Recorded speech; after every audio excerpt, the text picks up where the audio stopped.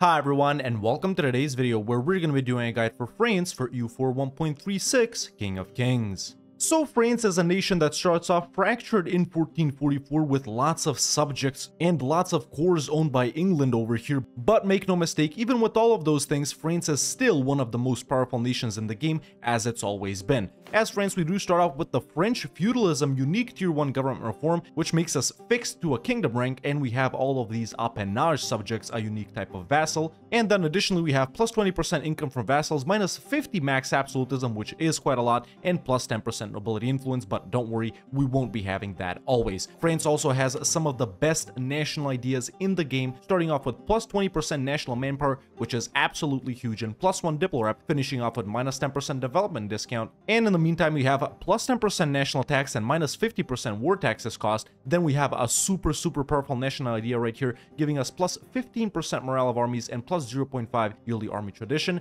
Then we have minus 1 national rest and plus 10% reform progress growth, minus 50% native uprising chance and plus 50% native assimilation, minus 10% core creation cost and plus 5 max absolutism, plus 5% discipline and plus 15% fort defense and plus 50% garrison army damage. So almost all of our ideas are double ideas here and they're super super, super strong. France also has an amazing mission tree which focuses on pretty much everything you want to do over as France. This top branch right here starts off by consolidating the region of France and choosing whether to expand over in Italy or in the Middle East. Then other missions over here focus further on Italy and on the Holy Roman Empire and missions down here focusing on France, colonization, conquering Great Britain and Ireland, and then these missions down here focus on us developing our nation and getting some very nice unique bonuses such as cannons in 1444. We'll see what that's all about. Of course, as France, you will go on to dominate the entire region of France by taking back all of your cores as England, potentially getting the Burgundian succession and getting all of this land right here that's highlighted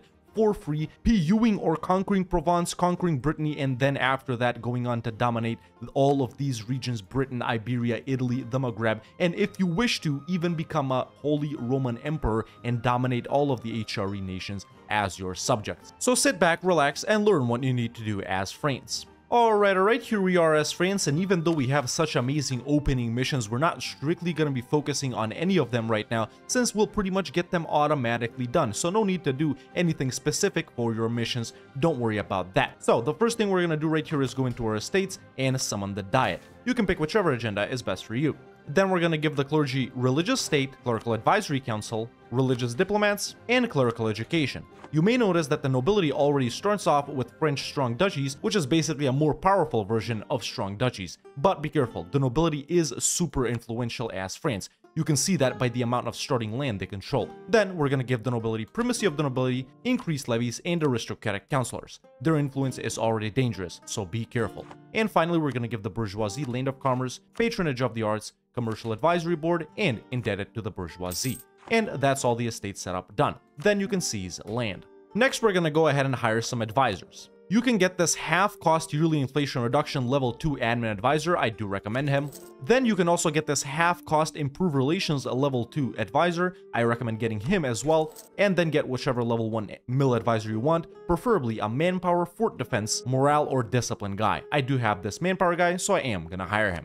Next, it's time to set your rivals. I recommend rivaling England as always. Do not rival Burgundy, even if they have rivaled you, because we want to flip them friendly. As we can see in my game right here, we're not rivaled, but they do hate me, and even though it changed a bit just now, we still want to get them friendly either way. So if they rival you, keep improving relations with them. Eventually, they will unrival you, or if that doesn't happen in a war versus them, you can make them cancel that rivalry. Either way, go ahead and rival whichever other nations you want. In my game, only Aragon, Burgundy, and Castile are available, and actually, I'm not even gonna rival Castile because we do actually want to be friendly with them. Ideally, in your game, you'd royal marry them and ally them right off the bat. Unfortunately, in my game, that's not a possibility. Either way, once you've set your rivals, it's time to work on our armies. So what you're gonna do is you're gonna take this top army right here and put this three maneuver guy in charge of it, and send it down here, and then you're gonna put this other general in charge of this other army right here. Something else that you're gonna do right at the start is hire a free company and put it in the province that this army is gonna arrive in. In my game, I just clicked on this, but it's not really too relevant. Next, with your diplomats, you can tell one of them to start improving relations with your own subjects, the appanages. Some of them may be disloyal during this point,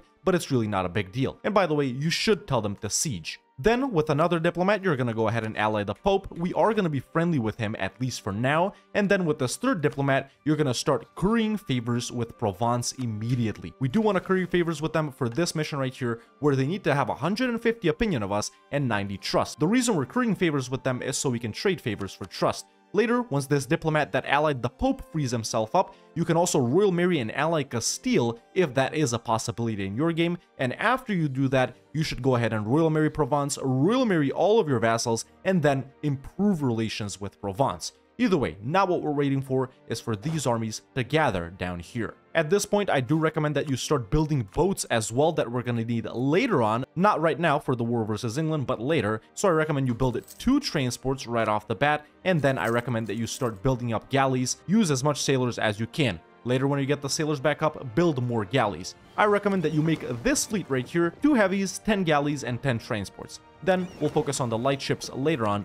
For now, you can keep them docked. And once your army arrives down here, you should have completed your diplomatic setup situation, which like I said, is to Royal Marry and ally Provence, ally the Pope, and ally and Royal Marry Castile if you had the option. In my case, I don't. In fact, they even supported the independence of Orleans right here, which is actually not that big of a deal. But either way, that's your diplomatic situation set up. Provence, Castile, hopefully, and the Pope, and then you should leave your guarantee on Scotland. Don't revoke it just yet. Yes, we will be over relations limit right here at the start, and we actually will be getting even more relations later down the line, but it's really not a problem. And now that your armies are here, you've royal married all your subjects, you've started currying favors with Provence and allied all of those guys, it's time to start our first war. And of course, it is gonna be versus England immediately. Now, you may think, why declare on England when the surrender of Maine War happens either way, but the thing is, it's not that reliable. England can simply choose to give Maine to us if they think we're too powerful, and then we'll have a really long truce with them, and we won't be able to fight them right off the bat, so that's why it's way better for us to declare on England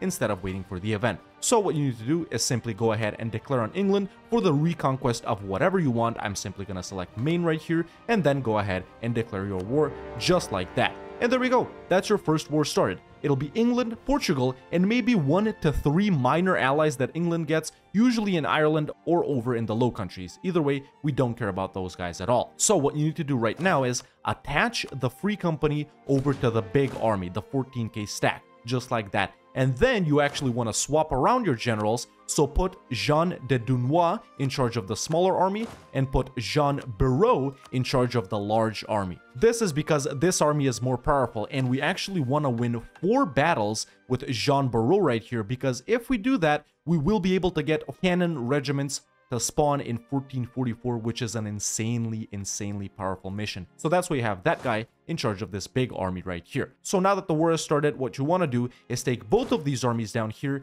and go on to siege down Portugal and most importantly, siege down Ceuta as well. Even though Portugal and England will have naval superiority, they usually don't focus their boats down here and instead they go up here and over here to blockade you so you should be able to cross over to Ceuta. Ideally, you would be allied with Castile at this point, and you'd be able to easily get military access to Portugal. In my case, though, as you saw, they rivaled me, so I won't be able to do that. Either way, let's hope Portugal or England gets mill access. But once this diplomat is back from starting your war versus England, what you need to do with him is improve relations with Burgundy as well, because if they rivaled us, we want them to stop rivaling us, or if they started off hostile, and in fact that just changed again, we want to make them non-hostile in order to royal marry them. So it's as simple as that. Go ahead and siege down Portugal, but don't piece them out, and once you do siege them down, turn back and siege down England.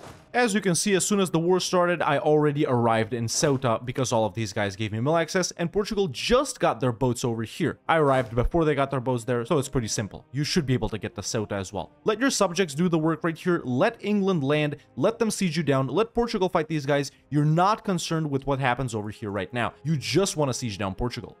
Now, I've sieged down Portugal, it's pretty easy. You'll be able to do it as well super, super easily. And now I'm to go back and fight these guys and unsiege myself. Of course, be careful if there's lots of troops concentrated over here and try and catch split stacks such as these right here. Make sure to not engage them while both of England's armies and Portugal's army are near each other. Either way, during this war, at some point, you will be able to take the mission Appease the Dynasties, which of course you should go ahead and do right away.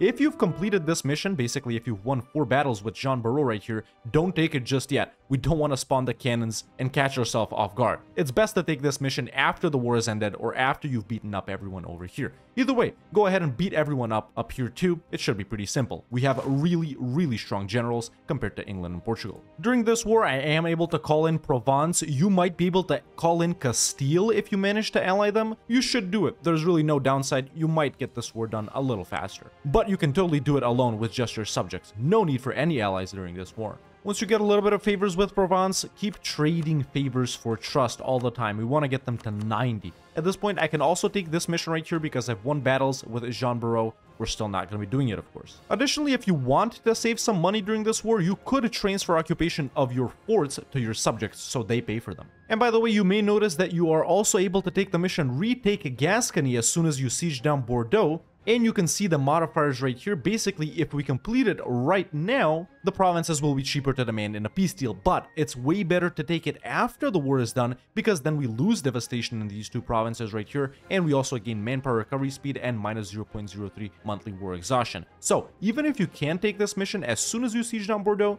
don't do it just yet. Once again, just like the cannon mission, we're going to be doing it after the war. Once you siege down all of Portugal and all of mainland Europe, England, there's no need to do anything else. You can fight some battles if you want to, if they go ahead and land and stuff like that, but really, it's just time to chill and wait for war score to tick up. You should be able to get around 80 to 90% war score just from occupying all of Portugal and all of England. Once again, during this war, I have made relations with Burgundy good enough to where I can go ahead and royal marry them. If you manage to ally them first, instead of royal marrying them first, you should of course always send the royal marriage offer yourself. Never accept a royal marriage from Burgundy, always send it yourself. This is very important for the Burgundian succession, because when the Burgundian guy dies, if they send that royal marriage, the royal marriage will be broken and we won't be eligible for the Burgundian succession. So always send it yourself after this war, of course, I'm going to ally them as well. Whenever any of the additional English allies get low war enthusiasm, if they're over in Ireland, of course, go ahead and white peace them because we're not getting war score from them. If England has allies over here, though, in Europe, make sure to siege them down, but keep them in a war just like with Portugal. In my case, I can't siege these guys down, so I'm simply gonna go ahead and send them a white peace offer. And once you get max war score, it is time to peace out. Like I said, it should be around 80 to 90%. And when you peace out, here's what you're gonna take in your first war versus England and Portugal. Obviously, you're gonna retake all of your cores over in the region of France, along with the province of Calais as well. Then we're also gonna take the province of Ceuta from Portugal, and then we're also gonna take Dublin from England over here in Ireland, so we have another area of expansion. By doing this, we consolidate the region of France, gain our cores back, makes us super powerful, but by taking Ceuta, we have another route of expansion over in the Maghreb, and by taking Dublin, we have a route of expansion over in Ireland, and then later, easy access through our potential ally Scotland into England. Or of course, after conquering Ireland, you could also conquer Scotland and then go on to England, but more on that later. So after you take all of this, this, and this, you can take as much money as possible, which for me is about 206 ducats, and then go ahead and peace out.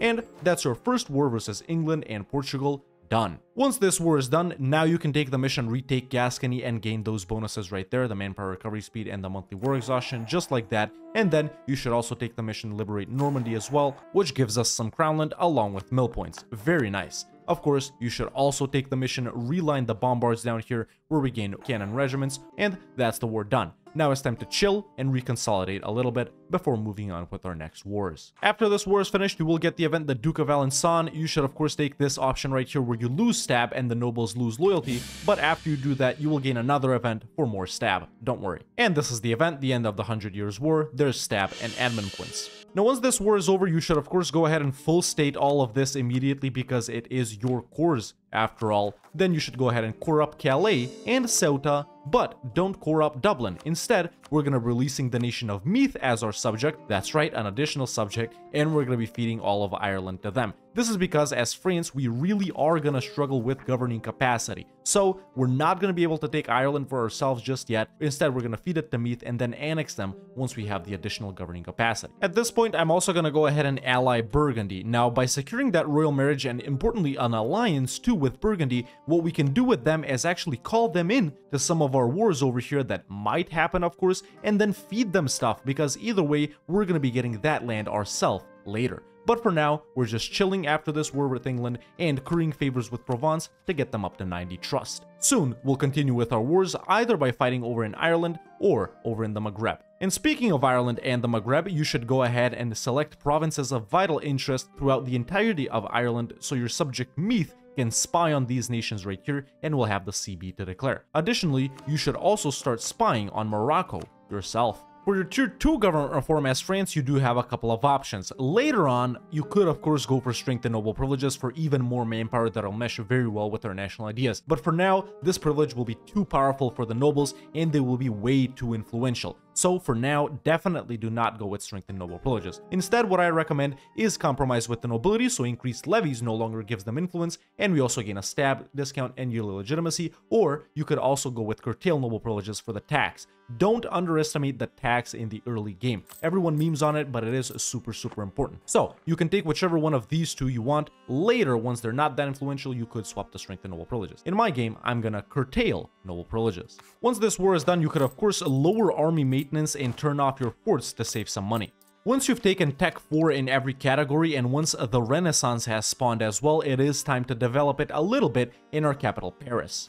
As we can see for this mission right here, the crown seat of Paris, we do need to develop our capital 8 times, and additionally we need to have a no subject with more than 5% liberty desire and a bunch of legitimacy, then we gain a Diplo Annex discount and stuff like that. Paris starts off with about 23 development. I think in my game it's 24. So either way, develop it at least to 30, but ideally 8 times in order to complete this mission. So in my game, I need to dev it up the 32, which is precisely what I'm going to do. So activate encourage development, and then you could also go ahead and expand infrastructure to make it a little cheaper to dev as well, and then dev it up to your required number with whichever points you want, depending on how many you have in each category. In my game, all of them are pretty equal as we can see right here, so I am going to develop Paris equally to spend the equal amount of each point.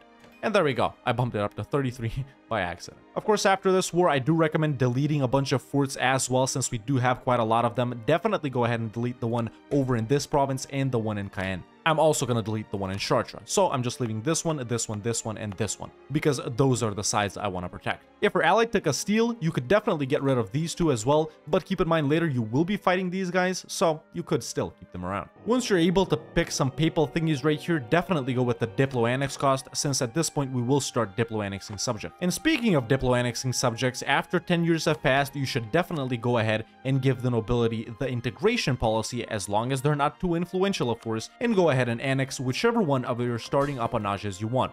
In my game, I have above 190 with only Orleans and Armagnac, but Orleans a little bit disloyal, so that's why I'm gonna annex Armagnac right here. Right now, you can hire a Diplorep guy, but I recommend keeping these half-cost level 2 guys around until they die. A couple of years after the England-Portugal War, you should start making money. Focus on paying off your regular loans first, and then we're gonna focus on building buildings as well. The only point where we're losing money as France is pretty much the initial 10 years. After that, it's time for some big bucks. After a couple of years have passed after your first war, and after you've started annexing one appanage, it is time to continue with your wars. And at this point, we have three possible routes of expansion you could either continue to expand over in the region of France by fighting Brittany or maybe Provence if you chose to fight them instead of PU them, which is what we're doing right now with the favors. In my game right here though, Brittany is allied to Burgundy, so I'll deal with Brittany later. Then another route of expansion is over in Ireland, depending on if your subject Meath has made claims. In my game, they have claimed Leinster over here, so I can go ahead and fight there. Or you could go on to fight Morocco. Those are your three routes of expansion, France, Ireland, or the Maghreb. In my game though, fighting Morocco would be the easiest because even though they're allied to Granada and Tunis, they wouldn't defend them, which is a perfect time to strike. Ideally right here, you'd be allied to Castile, Castile would already own Granada and you can just walk like this over to Morocco. In my game though, since I haven't allied Castile, I'm gonna have to move my troops over to Ceuta first. So that's exactly what I'm going to do now. Move my troops there and then declare Morocco. You can choose to do whichever one of these three different options you want in your game, depending on what's easiest for you. Keep in mind, we're still currying favors with Provence right here to get them to 90 trust. By this point, of course, your main fleet should be done. Like I said at the start, 2 heavies, 10 galleys, 10 transports. Soon, we'll build up the galley fleet, of course, even more. Now that I've taken my armies down to Ceuta, I will be declaring on Morocco. In this first war with Morocco, we want to focus on taking all of these provinces right here in the state of North Morocco along with their super annoying fort in their capital of Fez. In my game, actually, they've downgraded it and it's not a level 3 fort anymore, which is super, super lucky for me. And in fact, their fort in Tangier doesn't even exist. I guess they lost a war or something. Either way, these are the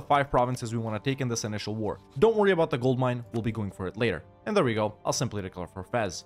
Once you have enough war score to take these provinces, you're totally good to go ahead and peace out. No need to max out war score, no need to take money or war reps or anything like that from Morocco. This is the only thing we want to focus on. You may notice that it is a lot of aggressive expansion, but we really don't care about aggressive expansion when fighting these nations over here. So Morocco or their subjects, Tlemcen or Tunis or these small guys down here, we don't care about that. So once you have about 50-ish war score versus Morocco, you're good to go ahead and peace out for this right here. And then that's it. We want our truce to run out as fast as possible. After that, I do recommend adding Fez to a trade company immediately, and we will be trade companying everything in the Safi and Tunis trade nodes, except for this state right here, which has the province of Tafilalt, which has the gold mine. Additionally, I also do not recommend trade companying North Morocco, even though you can. Keep it as a state, and later we will be converting its religion or accepting it, it really doesn't matter. But that's your initial war over in the Maghreb done. Then you can continue spying on whoever else is here. Morocco, their subjects, Tlemcen, Tunis,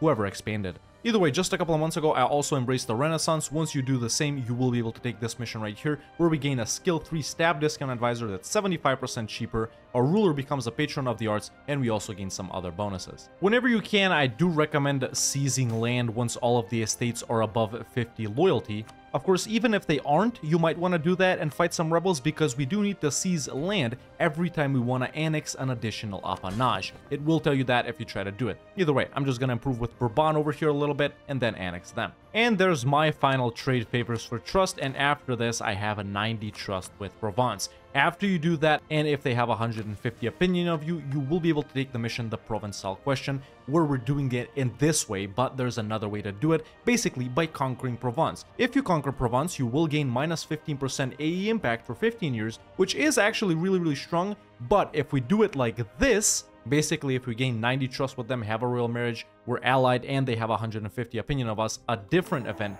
happens for them. And basically, they can choose to become our junior partner, which they do select in about 99% of the games. And just like that, we gain all of these very high development provinces that Provence owns, and especially the ones that Lorraine owns over here, pretty much for free. And there's a junior partner for us. After this, you should take the decision The Fate of Joan of Arc, where you gain some nice bonuses just like that. And there we go, I do think this is the better way to gain all of the provinces that Provence starts with. But now, here's something interesting that you also need to know after you PU these guys. As you all know, France sometimes gains a restoration of Union CB on Naples if Naples is independent, and of course in my game they are right here, Aragon always lets them go for free. But the only way you can get that event to PU Naples is by having Provence not exist. So maybe that's an argument for annexing Provence, you gain the restoration of Union CB on Naples. However, if you PU Provence and go into your missions right here and actually select Provence's missions down there, you will notice that if they fulfill certain requirements,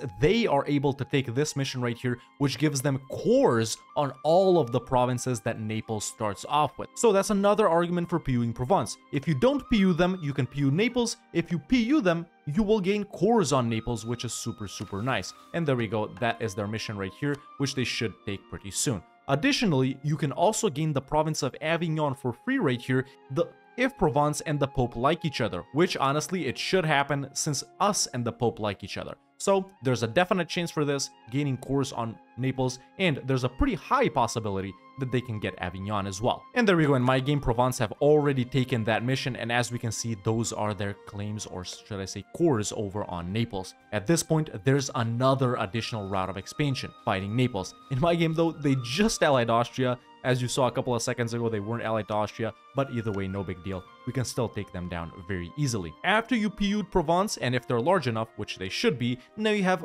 four possible routes of expansion. Ireland, France, the Maghreb, and now southern Italy. Maybe by this point you also got the event where you got a restoration of Union CB on Milan, which is another additional route of expansion over in northern Italy. Keep in mind though, even if you got that event for the restoration of Union CB on Milan, don't declare on them until they've left the HRE. In my game right here, since I'm still not able to ally Castile, which is sort of something you do want to do like I said at the start, instead I'll be looking for other allies, not that we need them, but it's nice to have at least one. I'm just gonna ally Poland right here, who seem to be pretty strong themselves. No real reason behind this alliance. Maybe they can help us fight Austria later on? We'll see. Once you hit Admin Tech 5, it will be time for your first idea group, and in a massive blobbing campaign such as the one you'll have as France, even if you're colonizing later on, I still recommend opening up with diplomatic ideas. Now, even though we have so many subjects, you might think influence is better, and yes, influence is really good too, but influence would mostly help us out only during the early portion of the game when we have so many subjects at one time. Sure, later we'll have subjects as well, but only one or two or three at a time instead of like 10 or whatever we have right now. Diplo helps us with the additional diplomatic relations. Diplo advisor cost is great. The Diplo rep is great for annexing subjects faster. The diplomats are great for improving relations with outraged countries to avoid coalitions. This will help us take more provinces. This will help us gain some PUs. So definitely open up with diplomatic ideas. We're already focusing on dip since the start. That's how you start the game as France. So no need to change anything there. Now I'm also going to start annexing Bourbon since I've approved up to 190 with them and because we seized land. You need to seize land before you annex any appanage. After you complete your second war, you can build up the main army a little bit to 22 or 3. Once you've gotten your second war wrapped up and you've PU'd Provence, it is time to continue expanding while waiting for a truce with England to expire, and I already mentioned the four possible routes of expansion, Ireland, France, the Maghreb, or Italy. Because we already fought in the Maghreb, I'm gonna chill in that area for now, still can't fight Brittany, still like the Burgundy. The situation in Ireland seems pretty stable, so that's why the most important thing for me right here is to get Provence's cores back over from Naples. If you conquered Provence, you would have gotten the restoration of Union CB by now, and then you should go ahead and PU Naples. If you PU'd Provence, go ahead and reconquer their cores. Even though they're allied to Austria, for me, this isn't to be a problem. So I'm just to declare a reconquest for their core of Naples and call in the Pope. Why not? If you haven't already selected your naval doctrine, I do recommend galley combat, at least in the early portion of the game right here. Later, you can definitely go with the unique one, Letter of Marque, which gives us chance to capture enemy ships, fleet movement speed, and ship disengagement chance. But for now, the early game, free oarsmen. And by the way, speaking of the PUing Milan event, the reason I haven't gotten it is because their original ruler is still alive, I think. If we ever end up fighting Austria, you can go ahead and humiliate them, take all their money, war reparations, the usual, make them end an alliance or two, get some prestige, the usual. And once you do go ahead and defeat Naples, simply give Provence all of their cores back. It won't be a lot of aggressive expansion at all. And there we go. There's all of these provinces pretty much for free going to our subject, which is of course pretty much us. And that's your war with Naples done if you did manage to fight them in this way. If you manage to fight the PU war, then simply go ahead and PU them. I do think this way is slightly better because we do end up with a less aggressive expansion rather than fighting the PU war. And there we go. That's your war with Naples done. Once you give all those provinces to Provence, you will be able to take the mission Throne of Naples down here where this event happens. Honestly, for this event, you can choose whichever option you want. All of them are pretty good. Read through them. I think this one right here is the weakest one, honestly, even though they're permaclaims. So I recommend going with some of these right here. I'm full on power projection right now, so I'm just gonna get the dev discount and tax. Like I said, underrated for the start of the game. Right now, Burgundy just called me into a war versus some members of the Empire. Of course, if Burgundy does call you into a war, definitely go ahead and accept and help them out, since you'll be getting those provinces later. Either way, something else I wanted to say is, apparently by us full annexing Naples, the Pope likes Provence now, which means they gave Avignon over to the Pope. Perfect. There's another additional province for free. For your first stage ability, you should of course select Justified Wars. There we go, Burgundy pieced out Austria and even took these two provinces from them, which is excellent. We don't care if Burgundy grows, in fact, we want them to grow. We'll be getting these provinces ourselves. They even took this province from Burg over here. Their aggressive expansion must be insane. Either way, that's what happens when you get Charles the Bold here. At this point, around the 1460s, you can definitely go ahead and lower autonomy everywhere that you can because it will have been increasing since the start. We will be fighting some rebels into this, sure, but we do need all of the bonuses that come with the lowered autonomy, of course. And whenever you can, definitely make sure to seize land as well. I'm only going to do that after I dev up this province over here a little bit for this estate agenda, just like that. So now I'm gonna summon the die once again. All of the estates are above 50 loyalty. There we go, I'm gonna select this one right here, for example. And now I'm gonna seize land again, which means I can annex the next appanage. In my game, that's Foix. In my game right now, Castile has finally decided to unrival me, which is excellent, which means I can real marry them and ally them. We sort of want to have an alliance with them in the early portion of the game, even though we want to conquer all of this later on. That's because we'll be getting a lot of help from them with sieging down Portugal and fighting in the Maghreb. Why not make things easier for us? And most importantly, it means easy access to our holdings in the Maghreb. If you end up having a yearly inflation reduction and a trade efficiency guy, you will be able to get this event right here where you can fire both of them for a bunch of points. Of course, fire them first, then get the points, and then hire them back because they really are very good advisors. After a certain point, once autonomy has been lowered everywhere, you will be able to take the mission Connect the Provinces where you gain some nice bonuses. There we go. Either way, once you wrap up a war in a different region, it's time to do your next war in a different region. I fought in the Maghreb and in Italy, still can't do France, so that's why it's time to jump over to Ireland. By this point, depending on your expansion opportunities, you may have expanded more over here than me, more over here than me, less over here than me, less over here than me. It really doesn't matter. Everyone should take advantage of their opportunities in their own game. Either way, I'm gonna declare on this nation right here, and you can try and co-belligerenting anyone that you might want to over in Ireland, and of course we're feeding everything to Meath.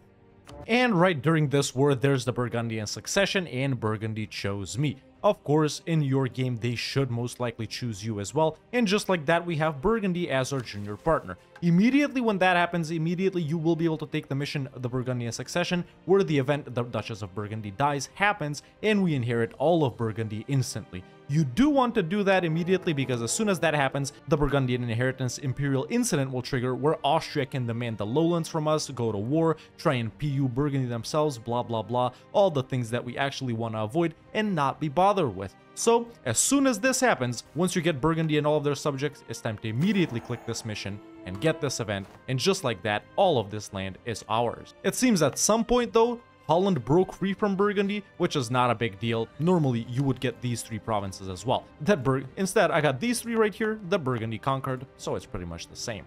This is where governing capacity is going to become a real problem though until we get admin ideas or admin tech 8 as well. So at this point you can give some of your estates the governing capacity privilege. Keep in mind though that this lowers your crownland. So even though you can full state all of these things immediately for free without wasting any additional admin points, be careful with the governing capacity. In fact, I'm also going to give the clergy their land rights privilege as well. Of course, don't delete the armies you inherit from Burgundy just yet. But definitely make sure to rearrange the boats that you get from Burgundy for sure. We are going to be way over naval force limit you could be a lot faster than I am by doing all of these same things. As we can see, aggressive expansion in my campaign is pretty much zero, and this is of course because this guide is tailored towards newer players. But if you're a more experienced player and you just want to know maybe what is the not optimal, but perhaps a pretty good way to play France, then you can definitely do everything I'm doing way faster. Now that this war in Ireland for me is done, I'm gonna feed all of these provinces over here to Meath. Simple as that. You can immediately continue fighting other wars in Ireland, or you could shift your expansion opportunities elsewhere. Before your truce with England is up, as we can see for me, it's going to run out in a couple of months, you want to establish other relations with Scotland as well. Of course, during this time, we have been guaranteeing them, which means they should still look like this. England shouldn't have expanded into them, and at this point, you are going to go ahead and ally Scotland.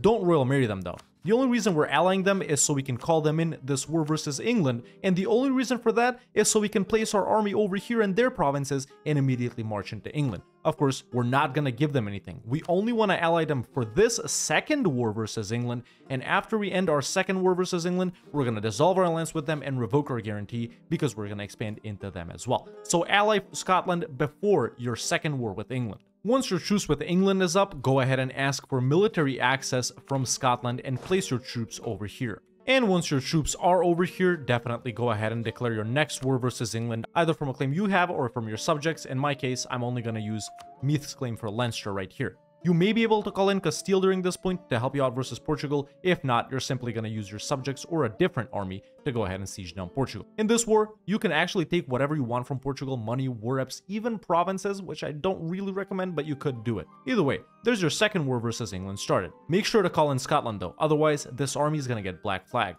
And there you go, there's your second war versus England started. At this point, they may still have a very large navy, so try to avoid naval battles. Here I'm gonna peace out Ulster by feeding it to Meath. I'm still giving everything over in Ireland to Meath. Real reason, like I said at the start, governing capacity.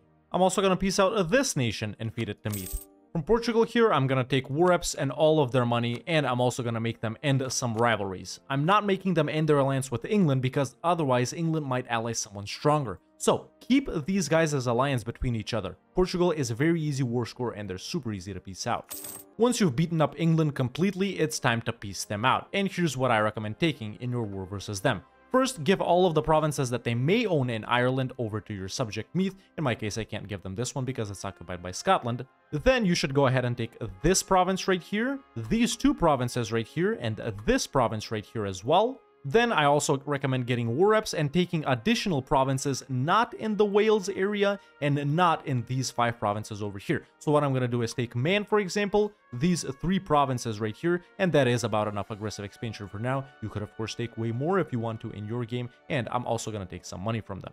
And that's my second war with England done and that is similar to what you should have taken as well. Once your second war with England is done, go ahead and release the nation of Wales, and go ahead and release the nation of Northumberland as well. This is once again for governing capacity reasons. As you guys can see, it's pretty close to being overfilled, but of course, Wales also has scores on these provinces, which really aren't that valuable if you look at it that way, but Northumberland also has scores on these provinces, which are pretty valuable. And that's your second war with England done. Like I said, you could have taken a lot more depending on what you want to do in your game, but this is simply what I chose to take in mind. Once that war with England is done, you can definitely break your alliance with Scotland and revoke your guarantee because soon we're going to be fighting them as well. Of course, when you get the money, definitely start building up buildings by starting off with the marketplaces in all of the center of trade provinces, pretty much every province that gives you more than two trade power over here. Or you could simply look at the map as well. For example, I'm going to build one over in this province, right here in Bruges. There is already one. We're definitely going to put one down in Calais.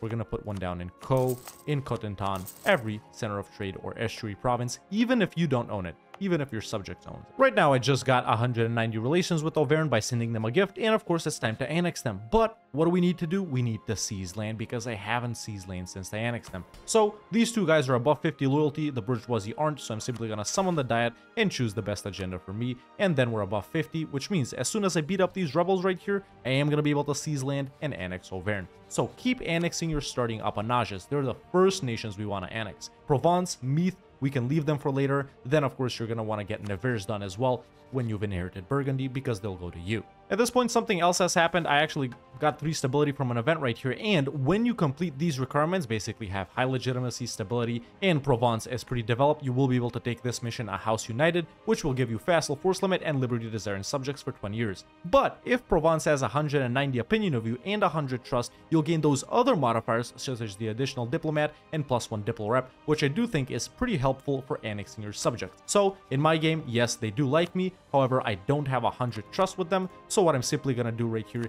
is trade favors for trust. There we go, 10 trust for 20 favors. Now they have 100 trust, which means now if I take this mission, I'll get the diplomats and diplo rep. And there we go. I do recommend that you complete this mission in this way as well. These modifiers are better than these ones right here.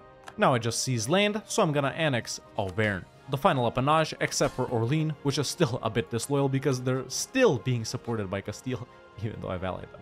No big deal though. Right now I've also given the nobility nobility to land rights as well. All three of my estates have the land rights privileges active and we're still gonna struggle with GovCap, trust me. We do want to get to Admin Tech 8 as fast as possible for the additional GovCap and to unlock admin ideas and to start building up the courthouses. But until then, and even after then, you really are gonna struggle. Of course, if anything like this happens in your game too, you can just placate these guys now that a little bit of time has passed, I'll be continuing with my wars by declaring on Morocco right here again, since Tunis won't help them. I did want to fight Brittany, but they're allied to England, so I'm waiting for my cores from England to finish before I fight them, because as y'all know, coring stops when you fight a nation that has cores over there. Either way, we're simply continuing the same tactic as earlier. Because we've already dealt with southern Italy, that's not an area of expansion anymore, at least for now, so I'll be continuing with the other areas of expansion, the Maghreb, France, and Great Britain. Either way, there's my declaration on Morocco. In your second war versus Morocco, or whoever is located here, now is when you'll take the gold mine. So there we go, I'm simply to declare for that province right there. After you build up all of the relevant marketplaces, focus on churches and production buildings, especially in the high value trade good province. For your tier 3 government reform, since we're playing so heavily with subjects still, I recommend representatives of the crown. Our subjects will gain some very nice bonuses, and will also gain diplo relations, vassal force from contribution too.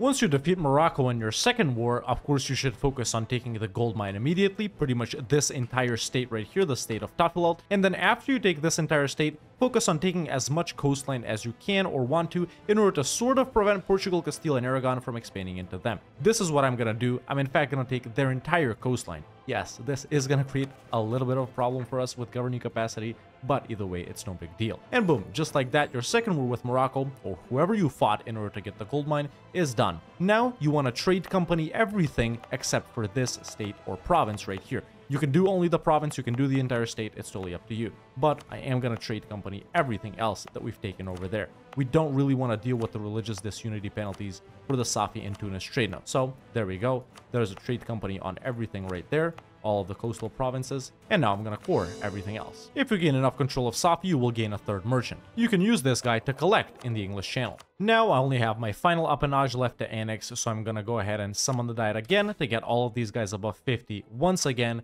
and then I'm gonna seize land once again, and now we can go ahead and annex them as well. There we go, that's our final appanage being annexed right now. Either way, once you complete the requirement for this mission right here, which is pretty much building up a bunch of churches, you will be able to take this mission as well and gain some nice bonuses. Now that I'm done with that war, I'll finally be getting back to the region of France because Brittany now is of course no longer allied to Burgundy because Burgundy doesn't exist. I'm simply going to declare on Brittany to full annex them, you'll be full annexing them as well, and since they're allied with England, I'm only going to white peace England to reduce my truce with them. There we go, fight Brittany whenever you can. Maybe it was your first war after your initial war, depending on the alliance situation. Either way, go ahead and fight them. And actually, very interestingly, here's the Milanese succession event. Usually you get this way earlier, sort of around the 1450s, but this is pretty much the event. You can choose this first option right here, where you gain a restoration of Union CB on Milan for 25 years, or you can select that we have no interest in Milan. Of course, you're gonna go ahead and select this first option right here, for the restoration of Union CB on Milan. And keep in mind, if it's before the 1460s, like I said earlier, wait until after 1460, so they've left the HRE, so you don't have to fight the Emperor. That's perfect. So whenever you're ready, when you get this event, definitely go ahead and declare on Milan and PU them. It is something we want to do. Make sure that they've left the HRE though. Once you had admin tech 7, it will be time for your second idea group, and for your second idea group, I recommend administrative ideas. This is a no-brainer for a massive conquest campaign such as France. We definitely need the advisor discount, just like we got the advisor discount over here. The additional advisors are great. The minus 25% core creation cost is super, super important. The pr promote culture cost is excellent as well. The stab discount, the monthly autonomy change, and the admin tech discount, but most importantly, the governing capacity modifier as well. So Diplo admin, a classic opening for any campaign, not just as France, where you're planning on expanding quite a lot. And once you go ahead and defeat Brittany, definitely go ahead and full annex them. And that's your war with them done. And there we go, right now in exactly 1480, Orleans, the final appanage for me, has been annexed. After you annex your initial appanages, you should work on annexing Nevers. Now, before you begin your conquest in northern Italy or do your war versus Milan where you PU them, you need to choose a certain option right here. This mission right here, the Papal Lands of Avignon, as you can see, we need to own Avignon or have a subject own it, and then we either need to have really good relations with the Pope or scornfully insult them or regularly insult them. Depending on what we do, basically, if we want to remain friendly with the Pope or not, you gain different bonuses from this mission, and these three missions differ. So, you end up getting Avignon because Provence had good relations with the Pope and they own Avignon now. That's excellent. Then, if we want to continue to have good relations with the Pope, we need them to have 190 opinion of us, which in my game they do, and it says right here that you need to spend 50 papal influence, and of course that is this option right here, there we go, you need to do that until you hit 50, pretty much to have good relations with the Pope. If you do that in that way, then you'll gain 25 random monarch points, 10 papal influence, and every time a new papal bull is enacted, we gain plus 20% manpower in true faith provinces for 25 years, which is honestly really, really strong. Additionally, we also gain a permanent claim on the area of Palestine, which is right here. Now, what this mission doesn't tell you is that these branches right here will basically become the Crusader missions, and they do give us some really, really strong options, by the way. The possibility to form the Kingdom of Jerusalem over here as a subject. Really nice bonuses if we become a tier 5 Defender of the Faith. As we can see, if you hover over them, they will tell you this is the Jerusalem mission, this is the mission where we're supposed to become defender of the faith. And this final mission right here is really strong too but it also gives you the bonuses if you choose to defy the pope which is pretty much gonna be this other option right here where you gain the italian wars expanded for 20 years for plus 15% siege ability and perma claims on lots of northern italy areas. Then if you choose to go with that route over here this mission will lead us to further solidify our rule into Naples, which is honestly pretty strong. If we choose to defy the Pope, this mission right here further solidifies the control of Milan, whereas if we remain friendly with the Pope, we may end up giving Lombardy to him, which we don't want to do that. And of course, this mission right here will give us very nice bonuses to Milan. So choose whichever option you want to do right here. Either you be friendly with the Pope and focus on conquering stuff over here, restoring Jerusalem, but you do have to give up control of northern Italy sort of to the Pope, or you don't be friendly with the Pope, you don't get the bonuses over here and the religious bonuses from these missions, and instead you focus on Italy. Choose whichever path you want to. Both paths are really strong in my opinion, but for the purposes of this guide, we are going to be going for the Italy path as opposed to this path, and you can definitely check out this path in my previous 1.35 France guide. So what I'm gonna do in order to accomplish this mission is actually send a scornful insult over to the Pope. There we go, now we can do this mission, and since we did it in the scornfully insulting the Pope way, we're gonna go ahead and get the bonuses for Italy. And there we go, those are the permaclaims that we've gotten. Perfect. Now that I've done that, I'm finally gonna go ahead and declare the Restoration of Union War on Milan. You can do this whenever you've gotten the Restoration of Union CB. Of course, during this point, I'm not only conquering, I'm constantly taking out new loans and new burger loans in order to improve my nation economically and build up a bunch of buildings. Once you've defeated Milan, you're of course going to select the option Union with Milan and take all of their money. It's really not going to be that much aggressive expansion. And there you go, you have Milan as a junior partner as well. If you've already done this mission in the way that by scornfully insulting the Pope, you will be able to take the mission Ambrosian Succession, where this event happens. And you can choose between one of these two options right here, which both are really, really strong in my opinion. For this first option right here, you get a Diplomat, a Covert Actions Relations Impact. Basically, if they discover your spy network, they won't be mad. We can also gain Da Vinci, who's 75% cheaper and a production efficiency guy, in Paris gains some nice bonuses like a dev discount, innovativeness gain, local great project upgrade cost, and we infiltrate the courts of every Italian nation that is an allied. I think that means 100 spy network on all of them. You can choose the second option right here for 100 mil points, minus 20% more cost, and 5% CCR. Both of these options are really good. Take whichever one you want. I'm gonna go with this first one right here. And of course, I'm gonna hire Da Vinci. Of course, once you do take this from Morocco or whoever you took it from, make sure to go ahead and full state it, activate encourage development, and develop it to 10 production lower autonomy as well. At any point, make sure to develop one of these four provinces three times, with whichever points you want. After that, you'll be able to take the mission Loire Valley Chateau, where this event happens. You can either choose this first option right here for Nobles Loyalty and a little bit of dev, or the second option right here for money and admin. I'm going to choose this option right here. After doing that mission, you want to complete this one, by basically letting Devastation take down in Brittany and improving the province of Armor four times. That's this province right here. Once you fulfill the requirements for this mission, you should of course take it. The main requirement here is probably going to be the Liberty Desire from subjects, but definitely go ahead and take it for the Diplo Annex discount and all estates influence. After you take that mission, you will most likely be able to take another government reform, and as France, depending on what you want to do with your religion, of course, you could choose a couple of options. If you want to remain Catholic, I do recommend taking lanes for the church. If you're planning on flipping to Protestant or Reformed or something like that later on, then you can definitely maintain the balance of power. In my game right here, I am planning to stay Catholic, so I am going to go with lanes for the church. Right now, I'm going to seize land again, and I'm going to annex the latest appanage, which we got Nevers. Pretty much appanages are vassals in the region of France. Once your truce with England is up, your second one that is, of course you're gonna keep hitting them again and again and again. This is now gonna be our third war versus them, and even though we're expanding in so many different regions during this point, England is still the main nation we're focusing on taking down the most because we want to gain major control over the English Channel trade node. So whenever your truce with them is up, simply declare your third war versus them, and in this war you're going to focus on reconquering Northumberland or Wales of course, and then taking something else for yourself. In my game right here, I'm going to declare a reconquest for Northumberland itself, and I'm going to call in Castile to help me peace out Portugal faster. Right now I just annexed Nevers. And once you wrap up your next war with England, I recommend giving Northumberland all of their cores back, once again taking anything that may be over in Ireland and giving it to your subject Meath. Then you can also give Wales' cores back even though it's not a reconquest for them, and then you could take additional provinces over in England for yourself. This is what I'm gonna do in my game right here. And that's my third war with England, done.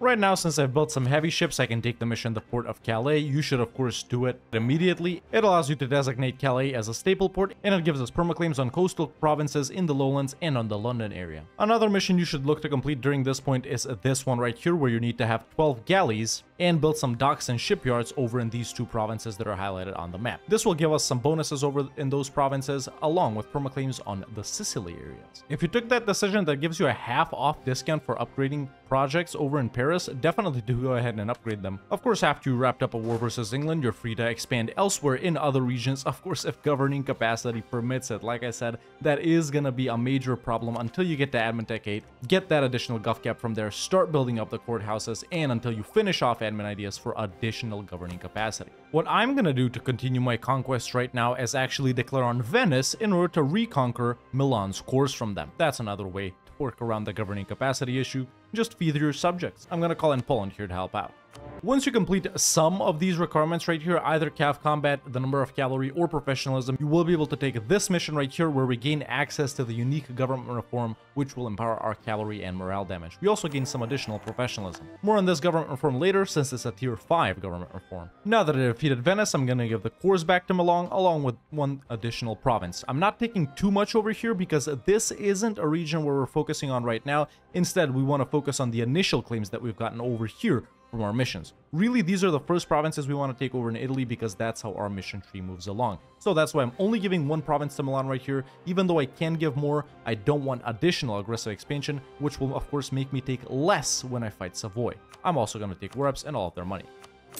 Once you finally get the Admin Tech 8 and you gain that additional governing capacity, the first thing you want to do is take out as much loans as you can, burger loans, regular loans, it really doesn't matter. As we can see, I took out about 5,300 ducats worth of debt right here. And go ahead and start building those courthouses immediately in every single province since they don't take up a slot. The governing capacity really is what's hindering our expansion opportunities right now. Now to continue with my wars, I'll be declaring on Morocco. We're still expanding in the same initial regions that we've been expanding in since the start.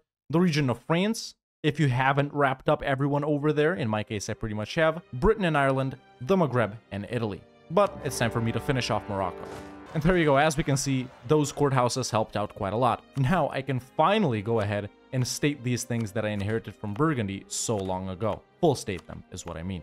There we go, perfect. This will help out a lot. Now that I've defeated Morocco, I'm gonna go ahead and full annex them and take all of their money. Of course, we're adding all available provinces over here to a trade company. This is the only thing that's stated. Now that I'm done over in the Maghreb for now, I'll once again shift my expansion opportunities over to Britain and Ireland by declaring on Scotland right here and co-belligerenting Tyrone. Sure, Denmark is in this war too, but Denmark is really a pushover and no need to be concerned with them.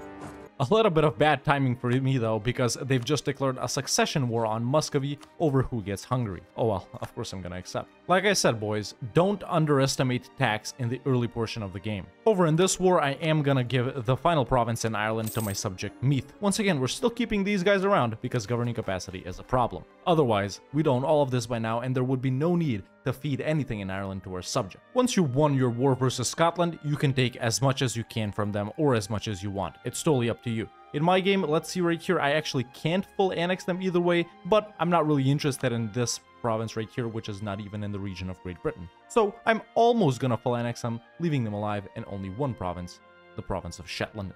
Once you complete this mission right here by developing this province, this event right here happens, and we gain a very nice advisor along with some institution and papal bonuses. Then you'll be able to take the mission The Crown of France, which gives us 10 permanent power projection, which is actually really strong, along with a lot of prestige, and if you're maxed out, the rest will turn into monarch points. These are the requirements, these are pretty much natural missions that come along as you play along. But then, once we do these missions here, these three, we get to a very interesting one, Face the Empire, where basically we can choose whether to go down the dismantling of the HRE path or becoming the HRE Emperor path. Once the Age of Reformation comes around, if you got the Burgundian succession, which you should have, the Dutch revolt disaster will start taking where all you need to do to avoid it is to simply move your capital over to the lowlands. I can do that as soon as I beat up these rebels. There we go, I beat them up, so I'm simply gonna move it over to Bruges. And there we go, disaster avoided, and either way like this, the English Channel becomes our main trade node, which is something we do want to do especially if you're focusing on colonization later on. If you're not colonizing, Genoa might be a better home node, but either way, with later expansion, we're going to be collecting from both. Now that that's dealt with, I'll once again be declaring over on England. Like I said earlier, we're continuing to pummel them as hard as we can whenever we can. And there we go. And once again, once you defeat England, take as much as you want or can from them. Of course, you're not going to be able to full annex them in this war, but you could do something like this, for example. Although be careful with aggressive expansion, so maybe do a little bit less. No need to take money or war reps from them. Either way, once you fulfill the requirements for this mission, of course by conquering Scotland, it can be done through allying them as well, you will take it and you gain these bonuses down here. Very nice. And at this point, we're still continuing to expand in the same regions we've already expanded in. Right now, I'm going to be declaring on Savoy. You should look to do that after you wrap up everyone else over in the region of France. And this is so we take these two final provinces in the region of France from them and to start expanding over in Italy to advance down our mission tree. So there's the declaration on Savoy. I'm simply going to declare for something like Torino, for example. And once you end up defeating Savoy in your war, what I recommend taking is the two provinces that they own in the region of France, Bresse and Chambéry over here, and then taking one to three provinces over in the region of Italy, depending on how much aggressive expansion permits you. For example, I'm going to take Nizza right here, we're still good with aggressive expansion. Let's do Torino as well, since that was our war goal. It is their capital, pretty high dev, and we're already at 50, so if I want to take another one, there's a coalition that can form, and that's about enough for now. Expansion during this point in Italy is going to be pretty slow, of course, due to all the high development provinces over in the north, but by PUing Milan, potentially of course, but there is a pretty high chance of it happening, you do save yourself a lot of conquest with their super high dev provinces, and a reconquest on Venice too. Once you fulfill the requirements for the mission Face the Empire, like I mentioned earlier, an event will happen that will allow us to choose whether to go for the Emperorship and become the Holy Roman Emperor. And basically, if you want to, go down the Holy Roman Empire reform path and get all of these guys right here as your subjects that of course don't take up a diplo slot or just take advantage of the benefits of being emperor or of course you could choose to dismantle it. And there we go, the preview missions get revealed right here, and these are basically the missions right here, where the Holy Roman Imperial path shows up, where we need to get electors to vote for us, become the emperor, develop your nation, and undo the part where the Italian nations leave the HRE, or you have the other path right here, which basically requires you to conquer stuff over in the HRE, dismantle the HRE, and not focus on becoming the HRE emperor. You can do whichever one of these you want, honestly, both options are pretty fun, but I do feel like going down being the HRE Emperor path is the more powerful version of it. Of course, you can do whatever you want to, and it's totally up to you. I'm just gonna leave this like this for now, not click anything to represent the choice that you might still have not made. But if you're going down the Holy Roman Emperor path, this is definitely around the time after you take this mission where you want to focus on allying electors to get them to vote for you. You should be able to get elected pretty quickly because we have Diplo ideas, pretty high Diplo reps, so it really shouldn't be a problem allying for electors. We haven't even been expanding in the HRE, so these guys won't really be mad at us for doing stuff over in Great Britain and Italy. And by the time colonialism and the Protestant Reformation spawn, your realm should look a little something like this. Basically, we started off as France, obviously by going to war with England, and in that initial war versus England, we took back all of the cores that we had in the region of France, along with the province of Calais, which wasn't our core. We also took the province of Dublin to enable expansion over in Ireland, and we took the province of Ceuta from Portugal to enable expansion over in the Maghreb. And after that, we had three regions of expansion, basically the region of France right here, Britain, and the Maghreb, and you should have shifted your conquest opportunities between those three regions, fighting Morocco or someone over here, fighting in Ireland, fighting in France if you could. And pretty much the only nation you really want to fight in France is the nation of Brittany, and of course if you chose to fight Provence as well, or maybe you chose to PU them, it really depends on that. But those are the three initial regions that we were focusing on expanding in in the early portion of the game. Of course, you should have focused on getting the Burgundian succession as well. If Burgundy started rival towards you, or if they didn't like you, you should have worked to improve relations with them make them unrival you and stuff like that so you could royal marry them yourself, not accept a royal marriage from them, so you're eligible for the Burgundian succession. When your truces with England were up, you kept pummeling them, you, you fed all of Ireland to Meath, you released Northumberland and Wales, reconquered their cores, and by this point some of you will have already wrapped up all of Great Britain. Expansion number grab, it's totally up to you how far you want to go. For a regular France playthrough, you should definitely go at least for the Safi and Tunis trade nodes. If you're going for something more, you could of course push into Alexandria. But after you took care of Provence, if you annexed them, you should have gotten an event to PU Naples. And then if you ate up Provence, you should have Naples as your junior partner. But if you PU'd Provence, you should have given them back all of their cores over in southern Italy. And of course, if you were lucky, if you got the event to PU Milan, which realistically you should have, you should have PU'd Milan as well and started your expansion expansion in northern Italy as well. So these are very important provinces right here, Milan and Provence or Milan and Naples that you should have definitely gotten a super high development and we're getting them basically for free by PUing or reconquering their cores. And of course by this point the Burgundian succession should definitely have happened and you should have instantly inherited Burgundy with the click of this button right here. And by this point in the game this is sort of what you should own. Like I said earlier, look aggressive expansion isn't bad at all. This could definitely be done way faster than I'm doing it right now With slightly more aggressive gameplay, you could own the entirety of Britain. You could probably own the entirety of the Maghreb right now. You could have definitely pushed a lot more into Italy. But of course, this is a guide meant for newer players. And I do feel like this right here is pretty realistic for even inexperienced players to achieve by this point in the game by the time colonialism and the Protestant Reformation spawn. And with this gameplay, by this point, you should own the entire region of France and maybe a little bit more over in Germany and in the Low Countries if Burgundy had expanded over there, whether directly or indirectly through subjects. You should own most, if not all, of the region of Britain, of course, partially through subjects, partially yourself, because like I mentioned many times, governing capacity is going to be a significant problem this campaign. You should own all of southern Italy through Provence or Naples, and you should own a big portion of northern Italy through Milan or through your own conquest. And you should definitely own about half of the Maghreb by now as well. Of course, during this point, we haven't only been focusing on expanding ourselves or growing our vassals or our junior partners or anything like that, because you should have definitely been focusing heavily on improving the economic situation as France. The only period where you're really going to lose money as France is the first 10 or 15 years because you're sort of at the limits, right? You have big armies and stuff like that. You're going to war pretty often where your economy can't really sustain that. But after the first 10 or 15 years, your economy should definitely be booming.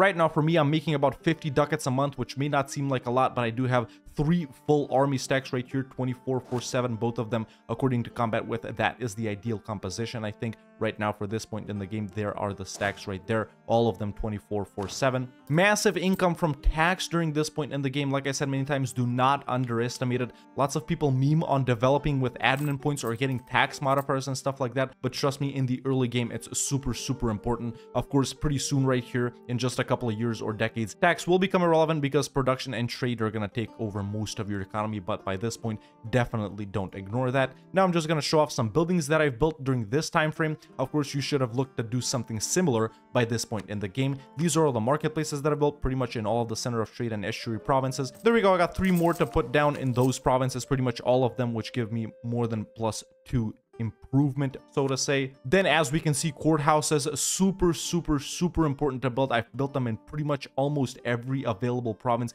with the exception of just some over here that we conquered from Scotland recently and from England. Then, of course, workshops are super, super important for building in all the high-value trade good provinces, such as iron, copper, cloth, salt, paper. You get the point pretty much in every single province that gives you more than 0.2 income per month. Of course, churches are super, super relevant as well. I usually build them in every single province that gives me more than 0.1 income per month. So I would build them in all of the provinces from this one down to here. Even though they become less relevant later on, it's super important in the early game because look at this tax income. So those are pretty much the buildings that are most relevant. If you had the spare money, of course, you could have built some docks and some shipyards for certain missions that we need them. A couple of barracks here and there for manpower and later on of course you're going to continue to build manufactories in all of the provinces that you have workshops in and that they have high value trade goods. I usually build manufactories in every province that gives me more than 0.4 income per month although i would build them in these two provinces as well and other high value trade good provinces that i guess don't have workshops yet or haven't been developed that much. And keep in mind that you should have also trade companied everything in the safi and tunis trade node except for this area or this province right here,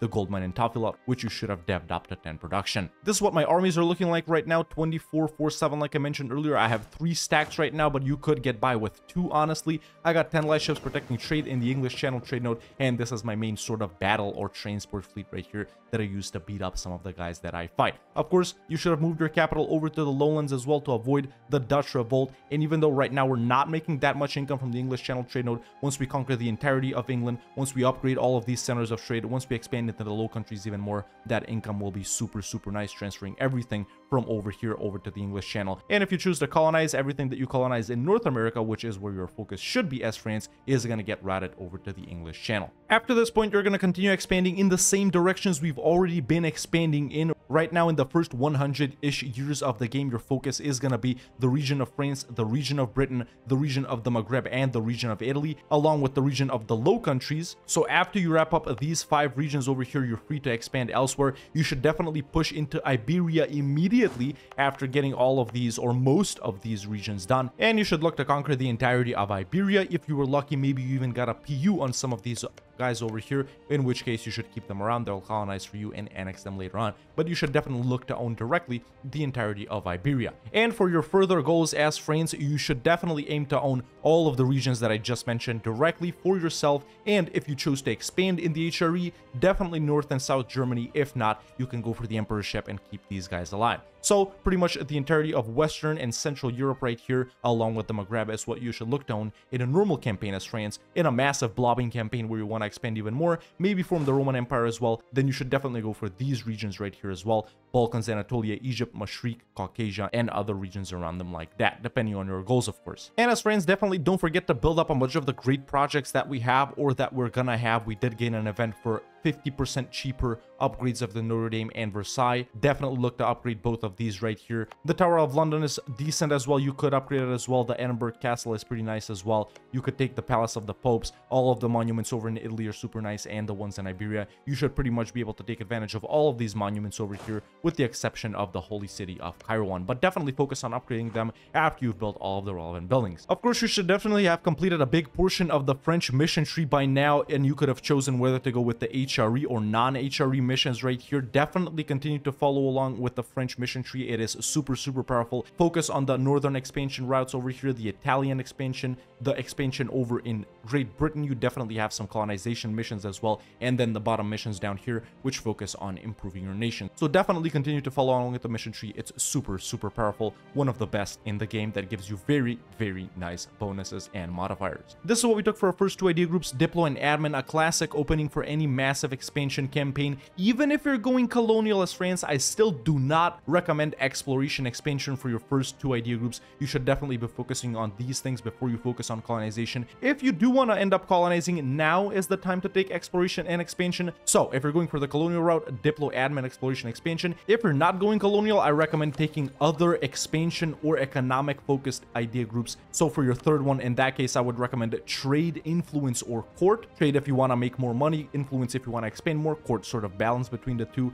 And for your fourth one, you could definitely go with infrastructure, humanist, or religious. Once again, stabilization and governance focused idea groups. So Diplo admin if colonial exploration expansion, if not a Diplo idea group, one of these three here, and then an admin idea group, one of these three here. And after that, for your next four, it's totally up to you. You could definitely pick up some mill ones if you want to, even though you don't really need mill idea groups at all in any campaign as France. This is what we took for our first four government reforms for tier 5. You do have a couple of unique ones such as this one right here. It is pretty good. Definitely go with it if you find the bonuses interesting. The musketeers are pretty good as well. And this one is another unique one which you can definitely take although I don't think it is that good compared to these two. If you don't like these two then you could definitely go with organized military staff or military engineering. For tier 6 you should take aristocratic court while you're still playing with subjects. Later when absolutism comes around definitely flip to royal decree. For tier 7 you could definitely go with superiority of the state, which is another unique one. If you take court ideas, if not, you can definitely go with meritocratic recruitment. For tier 8, if you're colonizing, exploitation of the new world is pretty good. If you're not colonizing, empower the burghers or embrace the economic theory. For tier 9, the six books of the Republic is really good, along with Leviathan if you're still playing with subjects, or even the social contract if you're not taking religious or humanist ideas. And then for tier 10 and tier 11, all of them are really good. Take whichever one you want. At that point of the game, you won't make a mistake with either one of them. And like I said, around the time colonialism and the Protestant Reformation spawn, your realm should look a little something like this. If you're not that confident in your abilities, or if you're not sure if your game is going to go like mine, this save file is available for all YouTube members in the Save Games Discord channel, and you can continue playing as France from this state forward. Let me know in the comments below what's the next nation that I should do a guide on. If you enjoyed this video, don't hesitate to leave a like, it really helps out a lot, and if you like the content and want to see more videos like this, make sure to hit that subscribe button so you don't miss out on any of them, and you can become a member today, and join the Discord, the link is in the description. Thank you so much for watching, and I'll see you next time with another EU4 video.